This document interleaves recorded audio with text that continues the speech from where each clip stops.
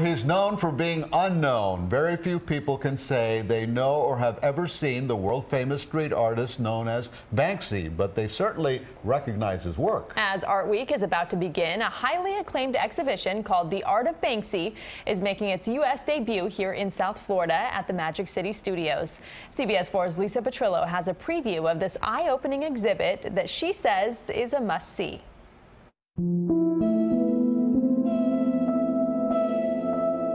Here at Magic City Studios in Little Haiti, it's the U.S. premiere of The Art of Banksy, an acclaimed exhibition showcasing 80 original works by the intriguing, elusive, and most talked about street artist in modern history. It's curated by the Bristol born artist's former agent and personal photographer of 12 years, Steve Lazarides. When Steve was commissioned to photograph Banksy back in 1997, it was imperative that no one would actually see him, so all of the photos of him are blurred or disguised. He could be walking right around us right now. We don't know. She's over there. it's the cow. Uh, Banksy is not known to the average person. No.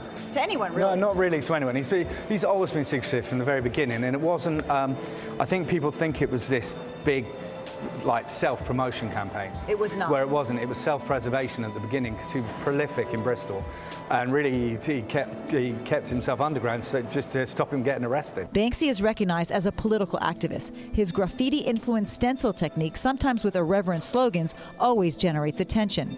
This piece, called "The Balloon Girl," is arguably the most iconic. It was a painting on a wall like this. It was just a stencil, so he did he did these all over London. They got dropped out everywhere, and then it got made into a screen print and then he made a canvas of it, and you know the the image is now recognisable worldwide. Equally famous is the flower thrower. The flower thrower, uh, quite obviously, was the cover of his book that sold. I think at the last count sold 1.75 million copies.